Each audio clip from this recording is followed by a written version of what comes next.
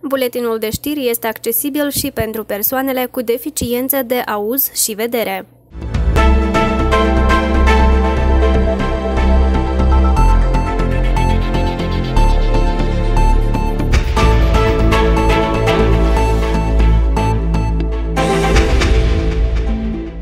Doamnelor, domnilor, sunt Victoria Conia și vă prezint știrile TV Drochia. Pe stadionul Orășenesc s-a desfășurat un meci între echipa gazde FC Speranța și FC Maiac din raionul Ungheni.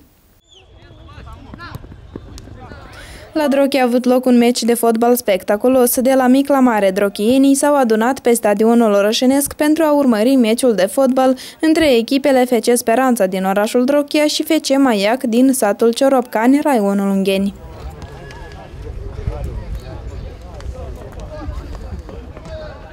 Bravo!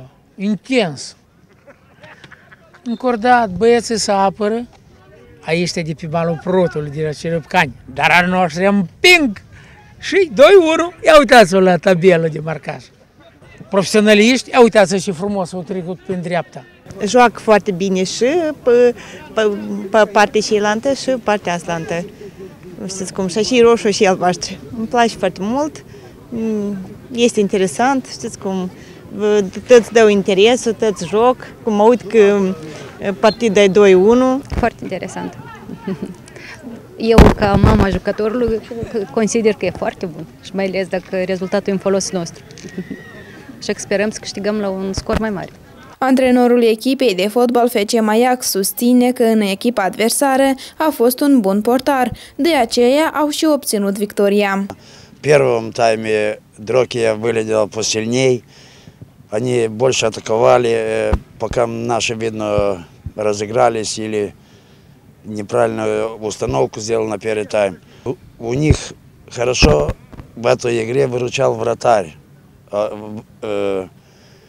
И даже на последних минутах маяк Черепканы имел много моментов и все время их не вратарь выручал. Конечно, кто посильнее, тот и выиграл. Acesta este deja al patrulea meci în care FC Speranța a jucat împotriva sportivilor din raionul Ungheni. Toate jocurile dintre Drochia și Speranța Drochia și Măiac Ciorobcani s-au petrecut foarte interesant tot timpul, până la ultima secundă. Am jucăm acum a, a treia oară, a patra, a patra oară jucăm și de fiecare dată golul câștigător Speranța îl marca în ultimele secunde, minutul 93-94 și mai astăzi s-a terminat cu 2-1. Meciul s-a încheiat cu scorul de 2 la 1, învingătorii fiind FC Speranța Drochia. Următorul meci, drochienii vor juca cu echipa de fotbal Intersport din Sănătăuca. Peste 100 de sportivi din câteva localități ale țării au concurat pentru Supercupa Republicii Moldova la turism pedestru. Evenimentul a avut loc în orașul Ungheni. Cele mai puternice echipe la turism sportiv din țară s-au întrecut pentru Supercupa Republicii Moldova la turism pedestru. Evenimentul s-a desfășurat în Ungheni cu participarea cadeților și juniorilor la acest gen de sport. Pentru Supercupa din acest an au concurat echipe din municipiile Chișinău și Bălți, din satul Bravicea Călăraș și de la stația tinerilor turiști din orașul Ungheni. Au fost invitate cele mai puternice echipe din Republică și e, au, cu asta am finisat anul turistic cu a turismului școlar. Traseul a fost complicat deoarece era plănuit să-l petrecem pe teren la aer liber, iar condițiile climaterice ne-au obligat să trecem, să petrecem în sală. De această dată, rezultatele echipelor din Ungheni, atât la cadeți cât și la juniori, au fost mai modeste decât de obicei, ambele clasându-se pe locul al doilea. Un clasament general pe vârste. Cupa cadeți a câștigat-o uh, echipa Liceului Teoretic Ștefan cel Mare din satul Braice, raionul Călăraș. Locul 2 a revenit echipii stanții tineri turiști uh, orașului Ungheni și locul 3 a revenit municipiul Bălți. Pe categoria de vârstă juniori, locul 1 și cupa a câștigat-o municipiul Chișinău. Unghenii de asemenea au ocupat locul 2 și locul 3 a ocupat municipiul Bălți. Echipele care s-au clasat pe locurile 1, 2 și 3 s-au ales cu diplome, medalii și premii bănești.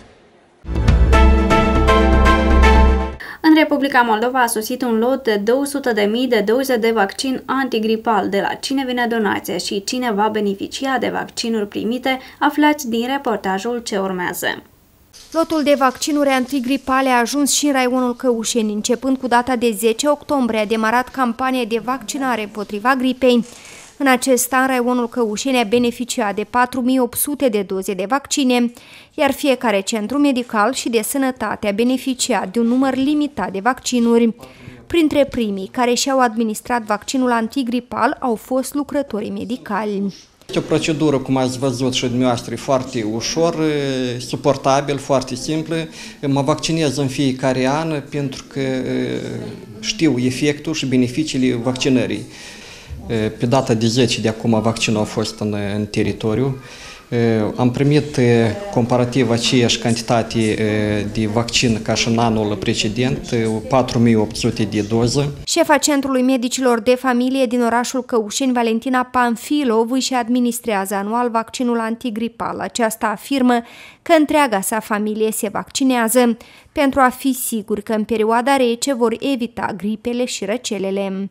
În fiecare an și eu și familia și copii suntem supuși vaccinării și nu că suntem supuși cu deasila, dar ne vaccinăm obligator, deoarece este o protecție foarte mare față de maladii virale acute, în primul rând de maladii grave ca gripa și vaccina conține câteva feluri de vaccine, asta nu e vaccină contra un fel de gripă, dar mai multe feluri. Anul ăsta Centrul Sănătate Căușeni a primit 800 de vaccine, inclusiv și pentru satele care intră în componența Centrului Sănătate.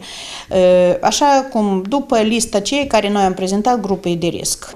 Dacă anul trecut vaccinul antigripal a ajuns în Moldova în a doua jumătate a lunii decembrie, în perioada când infecțiile respiratorii acute erau deja răspândite pe scară largă la nivelul populației, anul curent procedura de achiziție acestora se pare că a demarat mult mai devreme, iar la începutul lunii octombrie acestea au ajuns deja în toate cabinetele imunologice și centrele medicale și cele de sănătate. Medicii de familie afirmă că este o perioadă foarte bună pentru administrarea vaccinului. Imunizarea antigripală de obicei este binevenită în lunile octombrie-noiembrie și anul acesta este foarte binevenită primirea vaccinului în luna octombrie, deoarece de obicei cel mai și acum sunt, dar mai rar, bolnavirile de infecții respiratorii acute, dar preponderent lunile noiembrie, decembrie socot cel mai multe cazuri de îmbolnăviri. Această femeie spune că anual își administrează vaccinul antigripal. Ea susține că în perioada rece nu răcește și se simte foarte bine. Нет, я всегда. Ну, я всю зиму не болею простудным заболеванием. De, pe data de 12 am adus vaccina și până ieri s-au vaccinat 222 de persoane, inclusiv și lucrători medicali, copii, bolnavi din grupurile de risc. Locuitorii raionului sunt convinși că vaccinul este unul foarte eficient și că merită a fi administrat. Efect este și la copii, am pus la nepot, spunem, și nu ne temem, nu ne frică. E un lucru foarte bun. Vreau să mă vaccinez, eu așa de la rând. Așteptați asta? Da. Înțeles. Credeți că... A să ajute, eu așa și cred. Potrivit Ministerului Sănătății, aproximativ 200 de mii de persoane, inclusiv gravide și copii, vor fi imunizate pe parcursul următoarelor săptămâni. Детский сад «Фолгушур» в селе Коробетовка снова открыл свои двери после капитального ремонта для 42 воспитанников. Подробнее об этом в следующем репортаже. Детский сад «Фулгушур» в селе Коробетовка вновь открыл свои двери после капитального ремонта для 42 воспитанников. Тебе нравится сейчас посещать детский сад? Мне нравится, потому что сделали ремонт, и теперь мы не будем вынуждены идти на первый этаж в туалет. Мне нравится, потому что после ремонта красиво. Родители также не могли скрыть радости от того, что наконец-то их чада будут воспитываться в лучших условиях. Какие чувства у вас вызывают результаты ремонта? Чувство безграничной радости. Я очень рада, потому что дети будут иметь возможность учиться и готовиться к школе в отремонтированном здании, с туалетами и раковинами как на первом этаже, так и на втором, с очень красивыми помещениями, украшенными рисунками. Такое ощущение, что одуванчики оживут и начнут парить над группой. Я счастлива, потому что условия в саду улучшились, будет теплее. Надеюсь, что дети не будут болеть так часто. А какие были условия до этого? Условия сначала были не очень хорошими, потому что двери и окна были старые, и дети по этой причине часто простужались. Было мрачно, все в коричневых тонах. Не хотелось приходить в детский сад. Детей больше привлекали игровые площадки во дворе, так как они были более красочными. По словам директора детского сада «Фолгушор» Натальи Акируш, капитальный ремонт в дошкольном учреждении не проводился около 30 лет. Были заменены крыша и полы, отремонтированы потолки, были утеплены стены учреждения. Тротуары вокруг детского сада были выложены плиткой. Работы по ремонту детского сада производились при финансовой поддержке правительства Румынии, которое выделило на эти цели около 600 тысяч леев. Правительство Румынии всегда поддерживает Республику Молдова проектами, и мы продолжим это делать в дальнейшем. Мы очень рады сегодня, что дети счастливы. Поздравляем примара этого населенного пункта, директора учреждения, воспитателей, родителей и, конечно, воспитанников детского сада. Свой вклад в проведение ремонтных работ внесла и местная администрация. Все затраты вне проекта Примария взяла на себя, а это примерно 50 тысяч леев. На церемонии открытия детского сада присутствовало много почетных гостей, в том числе депутат парламента Республики Молдова Думитру Дьяков и мэр коммуны Селишти из Румынии Михай Суаре. Я принял приглашение примара села Карабетовка Сергея Рычила из Республики Молдова, потому что у нас есть прекрасное побратимство, заключенное два года назад между нашими населенными пунктами. В дальнейшем нам также хотелось бы развивать хорошие отношения. В тот же день в Карабетовке была сдана в эксплуатацию новая система уличного освещения. По мнению примара, это не только обеспечит комфорт при передвижении в ночное время суток, но и повысит степень безопасности жителей. Это уличное освещение, которое соответствует всем требованиям сегодняшнего дня. Проектная документация была разработана на основе светодиодных светильников. Наши расчеты предварительных затрат показывают, что благодаря именно LED-лампам Примария будет экономить в год около 120 тысяч леев. Данный проект обошелся в 2 миллиона леев. 75% финансирования предоставило Агентство регионального развития. Вклад Примарии села Карабетовка оценивается в 540 тысяч леев. Рыбнице прошла седьмая выставка-ярмарка «Покупай Приднестровская». Десятки предприятий, сотни наименований товаров. И все произведено в Приднестровье.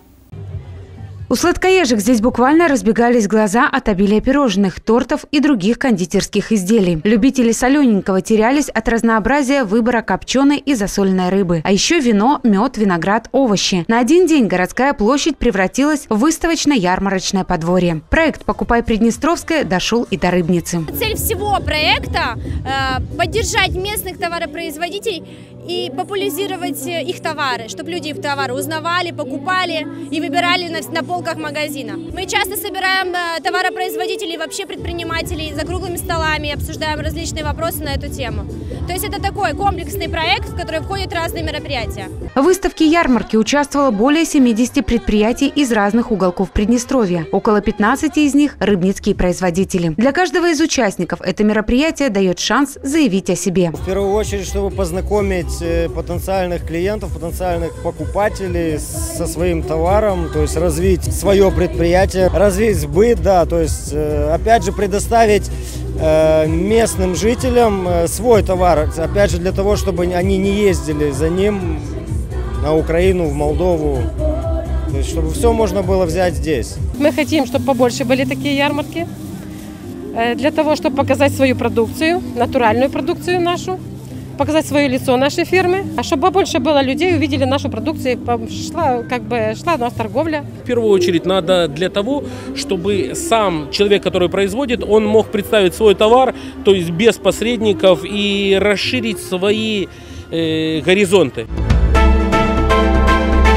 Doamnelor, domnilor, știrile se încheie aici. Vă mulțumim pentru atenție. Sunt Victoria Conea. Rămâneți și în continuare cu TV Droichia.